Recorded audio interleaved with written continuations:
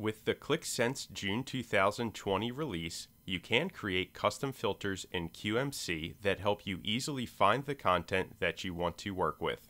This is useful, for example, if you want to look at a specific group of tasks, apps, or streams. On the QMC homepage, there are overview tables for tasks, apps, app objects, and streams, which all have predefined filters.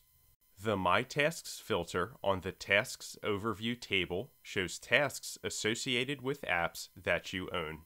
The Tasks Overview table has a custom filter for each stream. They show tasks that are connected to the apps that are published to that stream.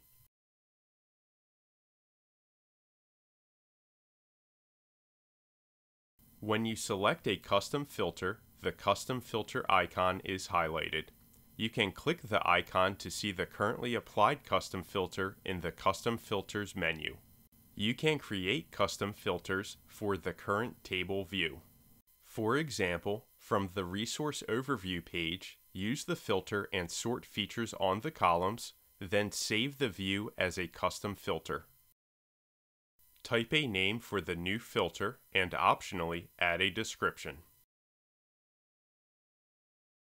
When finished, you can apply your custom filters in table views. Now, when you go back to the overview page, you will find the filter you just created. Click the filter and you will see only the app objects based on your filter. To edit a custom filter, make sure you first open the custom filter. Next, make the changes you want, for example, add a filter or sort order to a column then open the custom filter menu and click Update beside the custom filter you want to update. Now, when you open the custom filter, the new filter will be applied.